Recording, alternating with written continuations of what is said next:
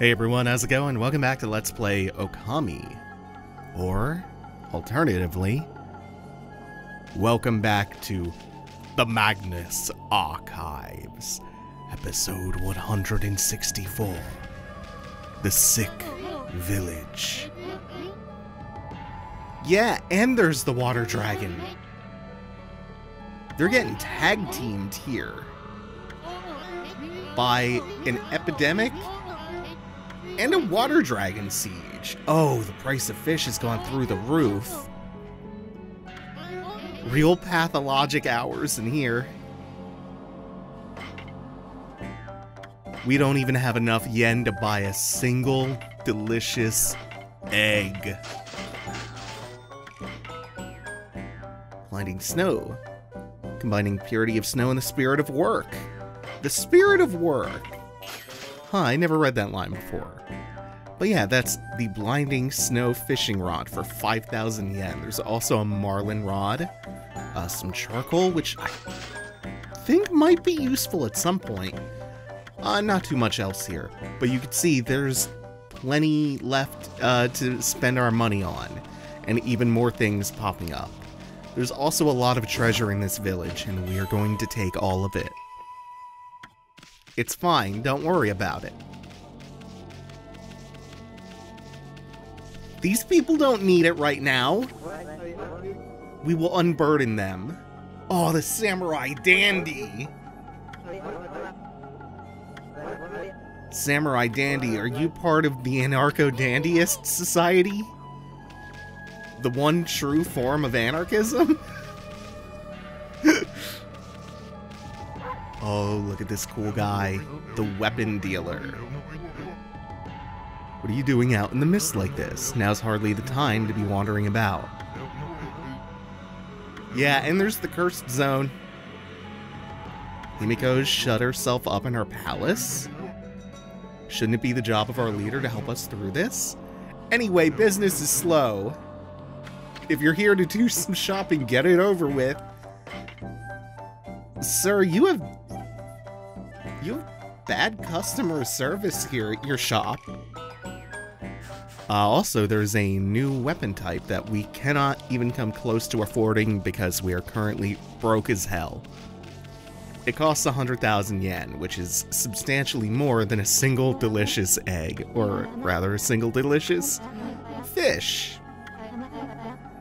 And to make matters even worse, on top of everything else that is so bad here, oh, this mist does seem to make you feel sick and depressed.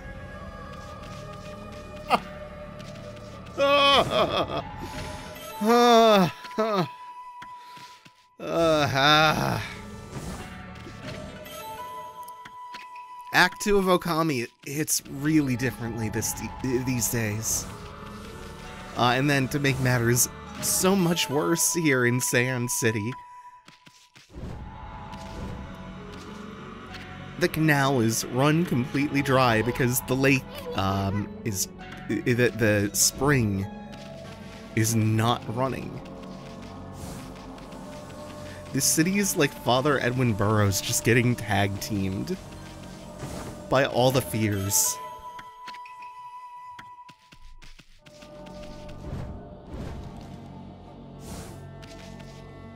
And before we go deeper into the dig site for the canal, we're gonna make our way around this uh, labyrinthian dried up canal bed. Because there's quite... Oh, no. This is not one place we want to make our way to. Uh, so we have the Plague. We have the Water Dragon Siege. We have um, the impending drought. Many, many, many problems. Oh, and the curse. I'm so useless. If I don't get to work on the canal with the boss, we won't be able to get water flowing again. Yeah, no, we figured that, Eason. It's not an ordinary mist. Thank you, though. Thank you for your input. You've made valuable contributions today.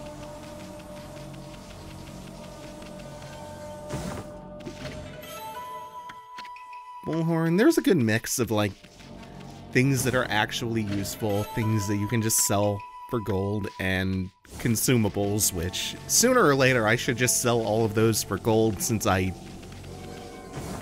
probably won't use any of them.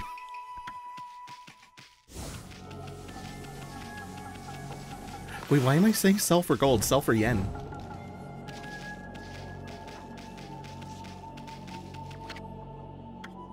Oh, and this is the opposite side of the ferry port. So we're gonna jump out of the canal for a little bit, just to explore nearby. Like, who is this? With the branch growing out of his head. It's Mr. Flower. Is that one of the Mr. Spider characters? Mrs. Bluebottle? Mr. Fly? Is one of them Mr. Flower?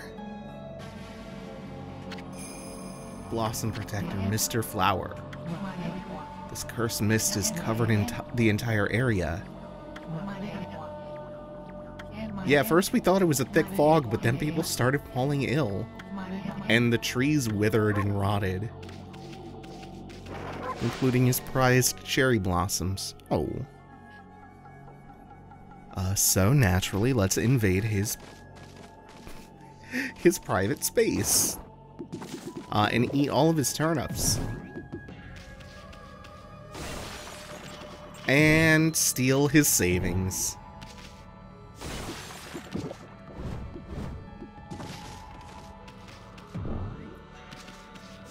Apparently he was getting ready for the plague to hit by hoarding an orange. He knew it would sell for so much one day.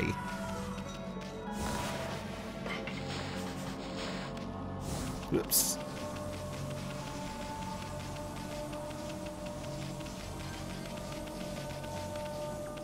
And I think we'll dive back in now. Pick up where we left off with the treasure, and then we will hit up the dig site. I think we're about done with finding everything. Another lacquerware set, That'll be pretty handy in getting us to that weapon from the shop. If I decide to go with it.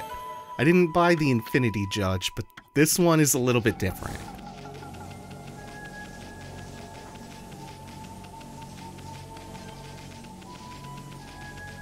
Then again, there are still some things I would rather get from Onigiri Sensei, so we'll have to see. And who are you, Nagari?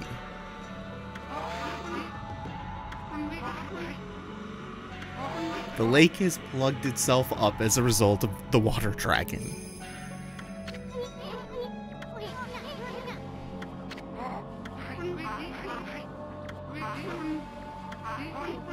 Canal was a really important source of water for us. That's why I'm digging a hole. I'm the only one left, one lowly, lowly carpenter.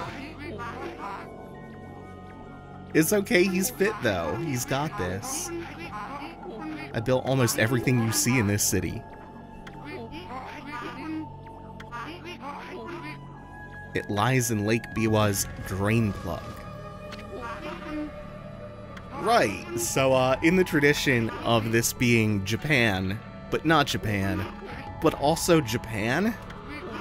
Uh, Sei'an City is called Sei'an-kyo, which is apparently a pun on Heian-kyo, which is Kyoto's old name. Uh, and they both have a Lake Biwa, so this city is modeled entirely after Kyoto.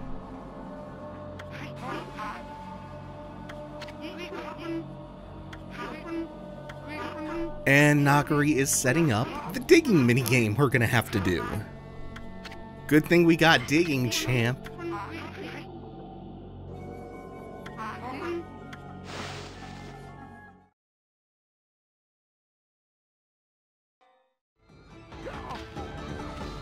Okay, this one took me a few tries, but I think I finally got this. And I'm gonna get all the spare yen, too one of the things that makes this really worthwhile. Can I get through this before I have to turn him around forcefully? Nope, you're coming with me. power slash in. I'm just trying to manage this route so that I take him across as little uh, as possible that he, that he can get hurt by. Like I'm trying to not have to babysit him. I want to just deposit him places while I get things set up. Like here. I'm not going to water spout him up here until he can't possibly run into the spikes unsupervised. Because he's like a child. We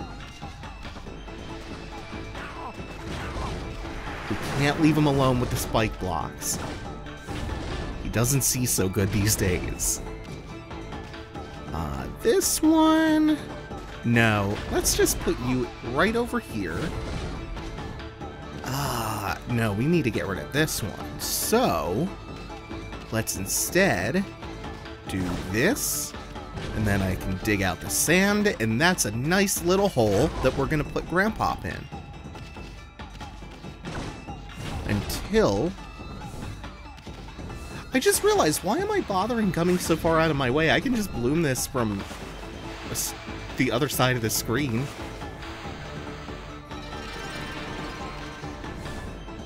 Oh no. That's not going to be worth it. Especially now.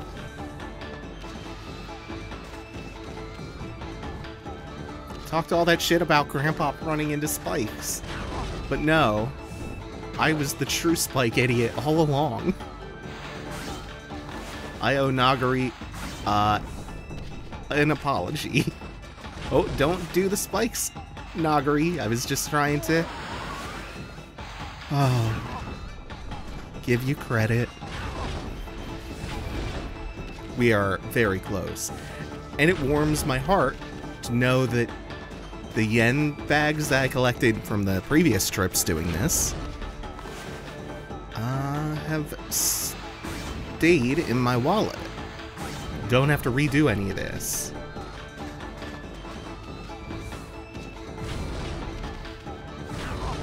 Now we have to get him to jump across one more spike block, then we're at the bottom floor, and with plenty of time to spare. The one thing that I didn't realize about this minigame until just recently is that the clock keeps ticking while you're while you're drawing. I don't think almost anything else uh, works like that in the entire game. for like 99% of the game, while you are drawing with a celestial brush, time is paused.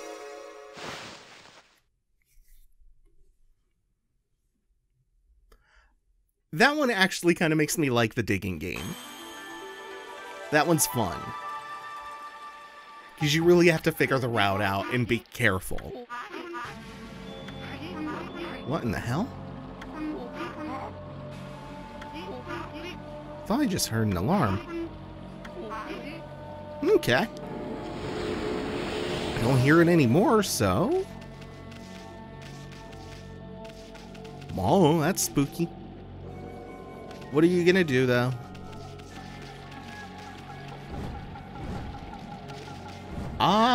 Don't think I'm supposed to do that. But, that works fine, too. Oh, I didn't realize it was day out when we arrived in the city. It hardly gets more gloomy now that it's nighttime. Alright, and with that done, we can finally... Oh, did I not talk to you? Hayate. I need to deliver these letters. I'm in so much pain I can't stand up, though. Why does my body have to let me down? There's a theme here of everyone having in common that they're sick and that they're agonized by the fact that because they're sick, they won't be able to work. Go up to the dandy. We don't need to speak to the dandy twice.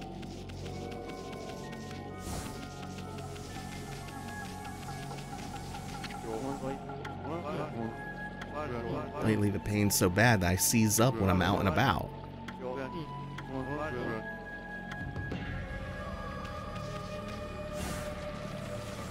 And past here lies the aristocrats' quarters.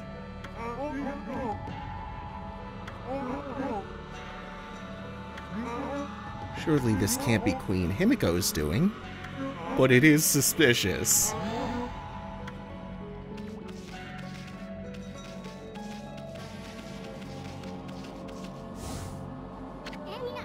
Sees bigwigs live across the bridge ahead. That area is crammed full of awesome palaces. One of them belongs to Queen Himiko, ruler of Nippon.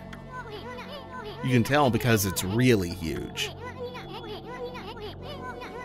I have no idea what she's like. But I don't think I'm gonna like her. I mean, she doesn't seem to be doing anything about the mist. Plus, I make it a point to never trust queens and the like anyway. Issun is rad! Hell yeah, never trust royalty.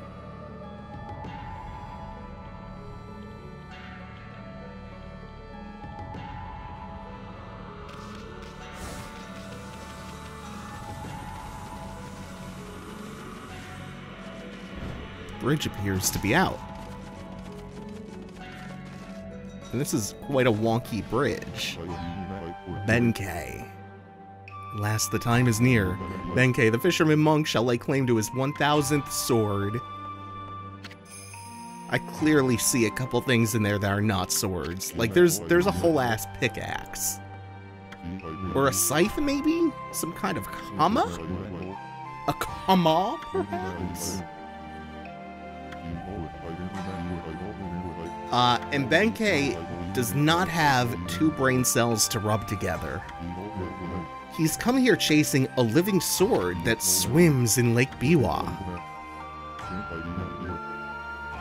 Living sword swims freely about in this water, and he's gonna catch it and make it his 1000th sword. And also, somehow he is in charge of the of, of the mechanism that raises and lowers the bridge him alone.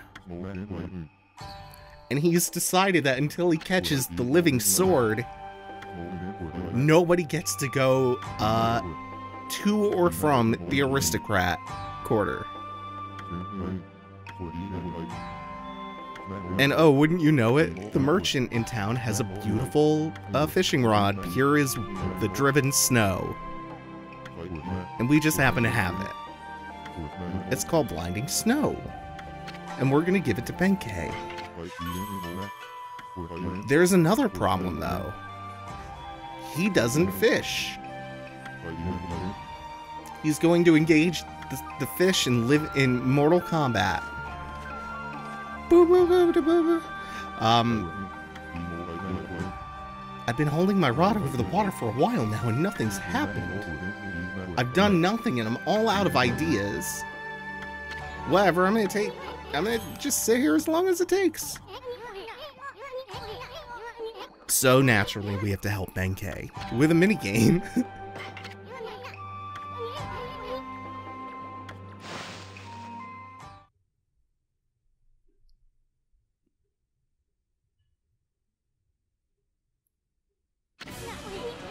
so Issun is going to re-tutorialize us for a second on fishing. We don't need it. Nope. Nope, nope, nope.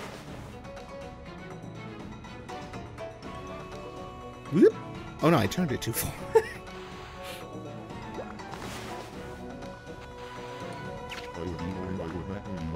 and rule of threes, we need to catch the first two before the third one is what we're looking for. Oh, right. Maybe we should have let Issun uh, teach us the basics again because I forgot you have to power slash him.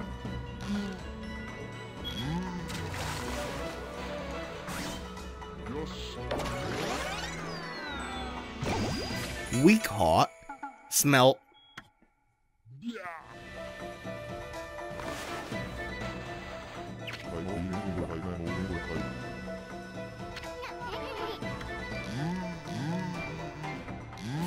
So we just feather it a bit. And is that another smelt?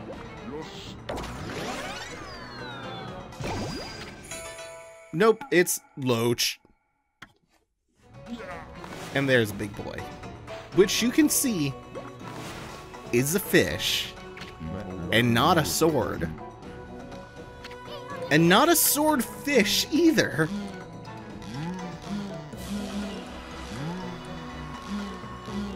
And this dude is a little bit more challenging than the rest. And also, it's gonna take three power slashes.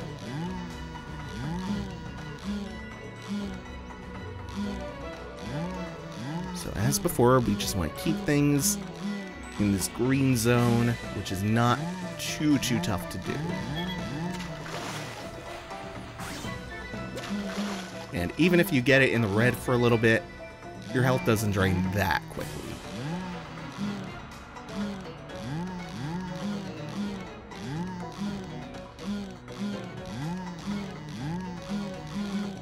Come on. There we go. And now Benkei, uh, warrior monk, has caught a cutlass fish. Which is a fish. Gods be praised, at last. I fulfilled my dream. Oh, he doesn't know yet. He doesn't know yet. How can he not know yet? So, that's the living sword? Oh.